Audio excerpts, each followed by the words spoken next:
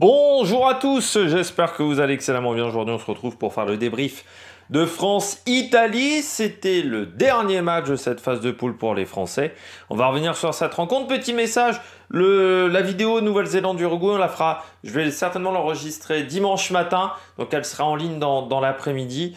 Euh, voilà, il y a un petit décalage en ce moment. Euh, le Tour de Lombardie, ça sera pareil, il y aura pas mal de vidéos dimanche euh, sur la chaîne, parce que voilà, bon, il y a des petits on, est un petit peu à la bourre, voilà, tout simplement. Mais on va revenir sur ce France-Italie. Euh, ce soir, match qui a été très intéressant, très spectaculaire pour les Français, un peu moins pour les Italiens. N'hésitez pas à vous abonner à la chaîne, à réagir dans les commentaires, à mettre un pouce bleu, à partager la vidéo sur les réseaux sociaux, notamment auprès de vos proches si vous pensez que ça peut les intéresser. Dans les commentaires, n'hésitez pas à me dire qui vous a plu, qui vous a déçu. EPS 2.0, c'est sur les plateformes de podcast Amazon, Deezer, Spotify, Google. TikTok, le débrief de la mi-temps, le débrief juste après euh, le match. Et puis si vous avez les moyens et que vous voulez soutenir mon travail, vous pouvez faire un super fan. On commence tout de suite avec ce France-Italie. Match plus lourde défaite de l'Italie face à l'équipe de France en écart de points. Euh, c'était, ils n'avaient jamais pris autant. Alors, il faut rappeler que c'était en 1967, à une époque où l'essai ne valait pas 5 points. Il faut bien le dire également. Mais euh, ce France-Italie, bah, ça a été une démonstration de l'équipe de France face à une pauvre équipe d'Italie. Euh, c'était depuis 2005 qu'on n'avait pas collé plus de 50 points l'Italie à l'époque. Donc ça remonte quand même. On a l'impression que cette équipe d'Italie est revenue 20 ans en arrière. Euh, on avait dit face à la Nouvelle-Zélande, c'était leur plus lourde défaite en Coupe du Monde depuis 99. Là, c'est un peu pareil. C'est-à-dire que ça fait depuis, j'irais 10 ans qu'on avait vraiment une équipe d'Italie euh, entre l'âge de gloire, ça a été entre, je dirais, 2007, 2017, jusqu'à la Coupe du Monde 2019, on va dire. Dans cette période-là, l'Italie a été intéressante, avec des joueurs euh, talentueux, et surtout, ils arrivaient à créer une osmose, ils avaient créé des, très belles choses, euh, notamment avec Brunel, euh, qui avait fait un, bon boulot du côté de, cette équipe de France, de cette équipe d'Italie, pardon, un peu moins du côté de l'équipe de France, enfin c'était compliqué pour lui, de l'équipe de France. Mais cette équipe d'Italie, on a l'impression qu'elle est revenue, oui, 20 ans en arrière, avec euh, un jeu qui euh, n'est pas très alléchant, il faut bien le dire.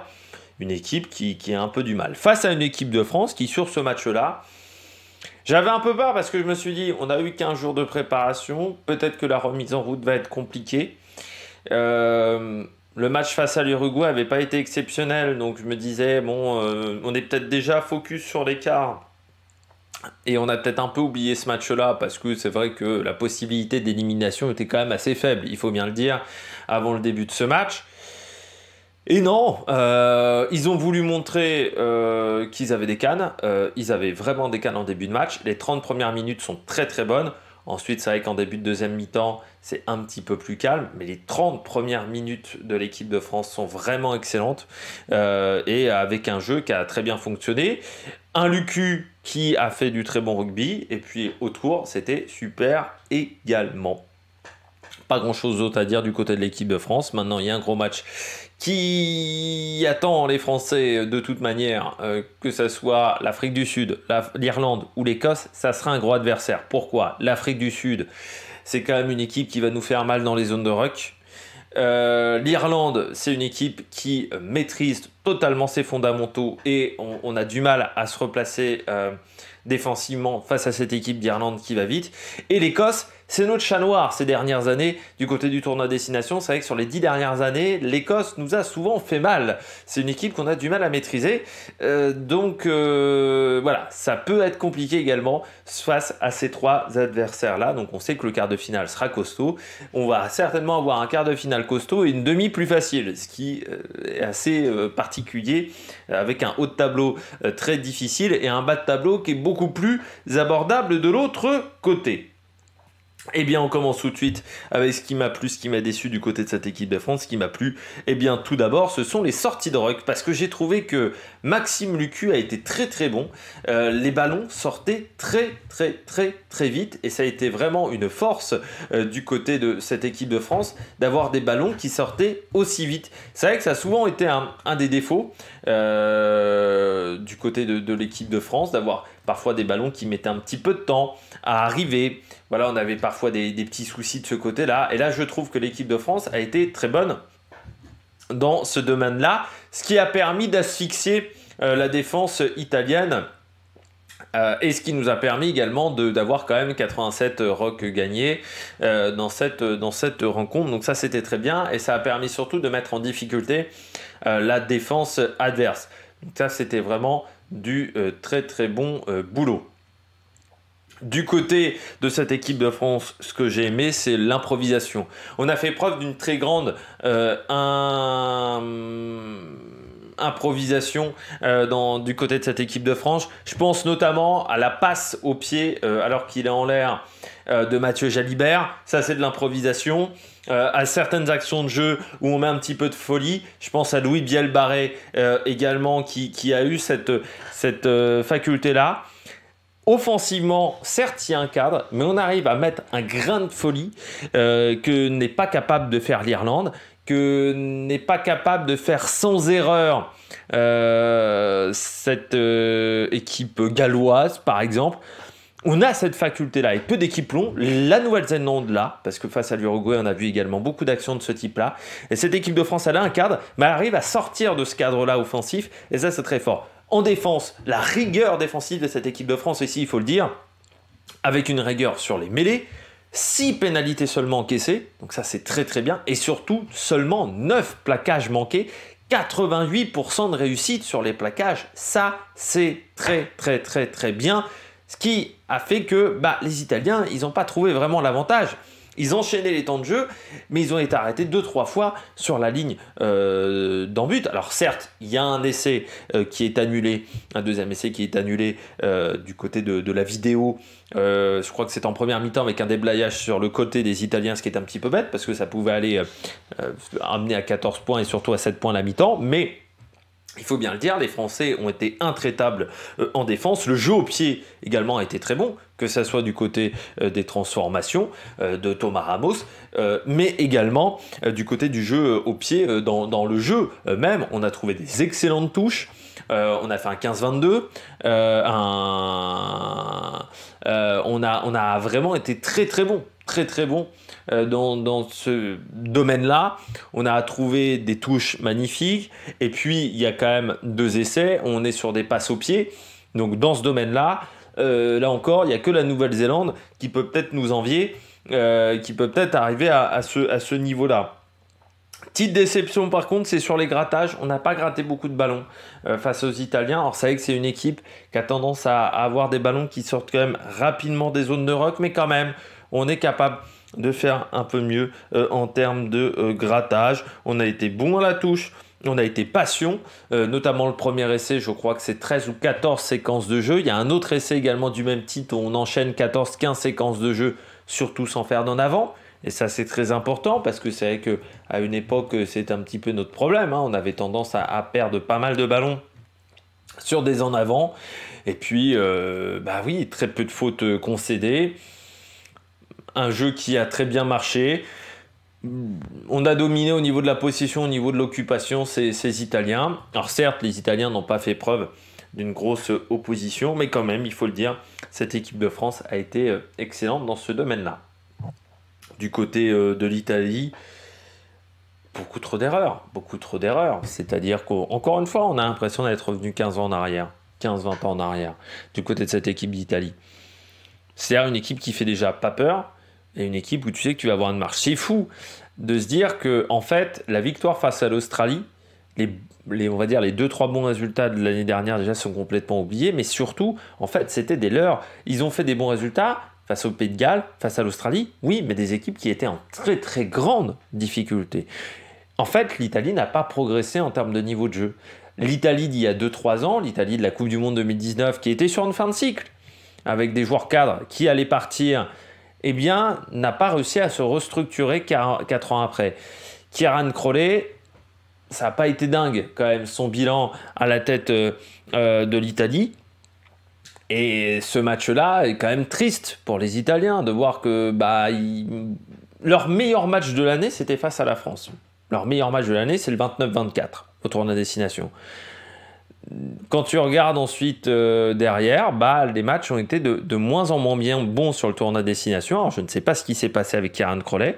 On a l'impression qu'il y a un message qui ne passait plus avec le sélectionneur. C'est vrai qu'après, quand tu sais déjà que le sélectionneur va partir à la fin de la Coupe du Monde, moi, je me souviens d'un Jacques Santini du côté du football lors de l'Euro 2004 qui savait déjà qu'il allait entraîner en Tottenham. Euh, la motivation euh, du groupe s'en ressent légèrement quand même. Et puis une équipe, qui a, été amorphe défensivement. Défensivement, ils se prennent euh, des, assauts et, tu as l'impression qu'ils s'en tapent. Et puis euh, collectivement, bah, tout le monde s'engueulait. Capuzzo euh, s'engueule avec son protocole commotion avec le, soigneur. Garabizzi s'engueule avec un autre joueur. Thomas Soalan, on s'entend pas trop. Varney, il a pas fait grand chose dans le match. Canoné, il gueule, mais t'as l'impression. Canoné et Lamaro, il gueule, mais t'as l'impression qu'il gueule un petit peu dans le vide. Euh, bon, ça a été très compliqué. La mêlée, ils se sont fait dominer quand même en mêlée hein, face à l'équipe de France. Il y a eu quelques bonnes actions, mais c'est un peu en courant alternatif. Et, ça passe toujours par le même joueur quasiment, c'est Ioane. C'était déjà le cas face à la Nouvelle-Zélande, c'est encore le cas face à l'équipe de France. C'est lui qui a un petit peu l'élément déclencheur, c'est A quand même des joueurs qu'on n'a pas vus sur les deux derniers matchs. Moi qui vous vantez cette seconde et cette troisième ligne, Canoné, Ruzza, Negri, Lamaro, les deux canonnés même, on les a pas vus sur les deux derniers matchs. Euh, voilà, cette deuxième et troisième ligne a, pris l'eau, complet.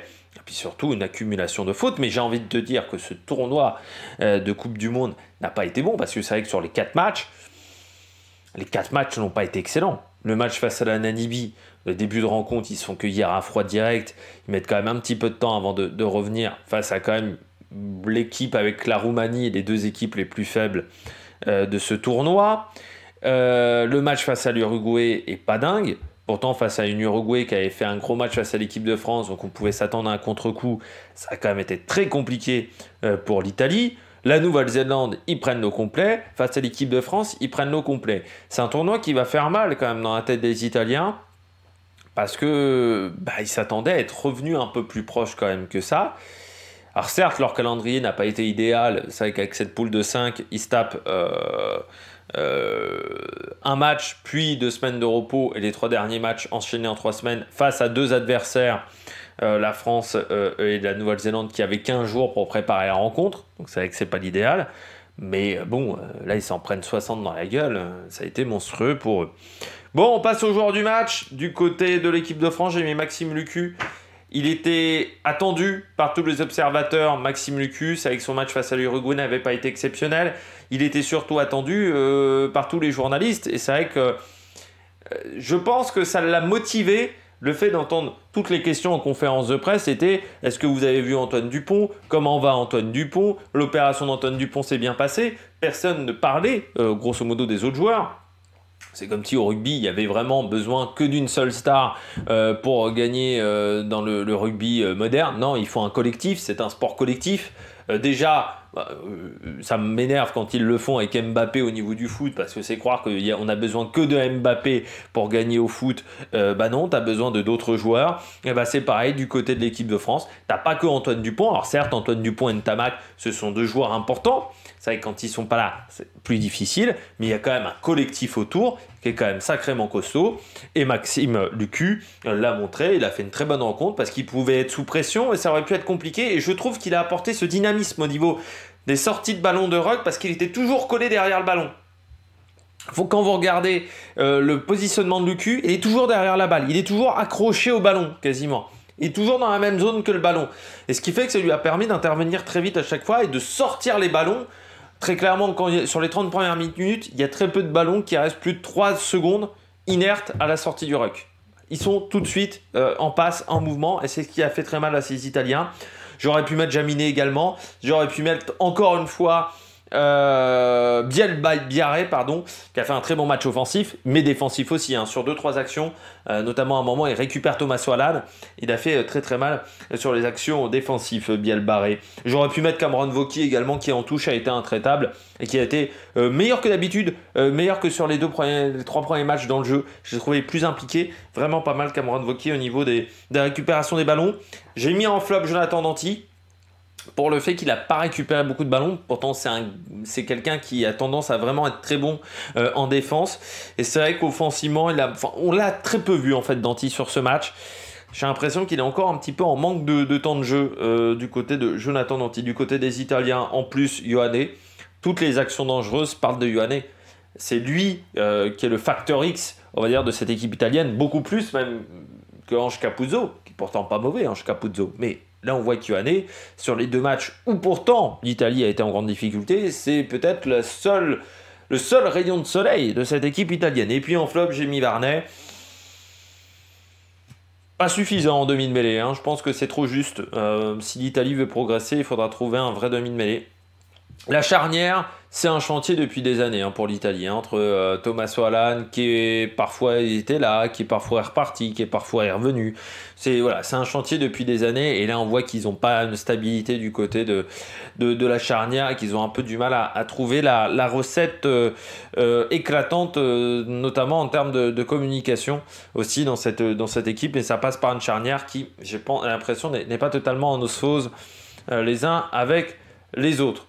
Donc l'équipe de France est qualifiée, l'équipe de France finit en tête du groupe. On fera un bilan euh, un peu plus en, détail de chacune des équipes de ce groupe A. On fera un bilan euh, équipe par équipe euh, la semaine prochaine en attendant les quarts de finale. Bon, bah nous on se retrouve pour de nouvelles aventures sur l'Amérique Production. N'hésitez pas à vous abonner à la chaîne, à réagir dans les commentaires, à mettre un pouce bleu. Allez, ciao ciao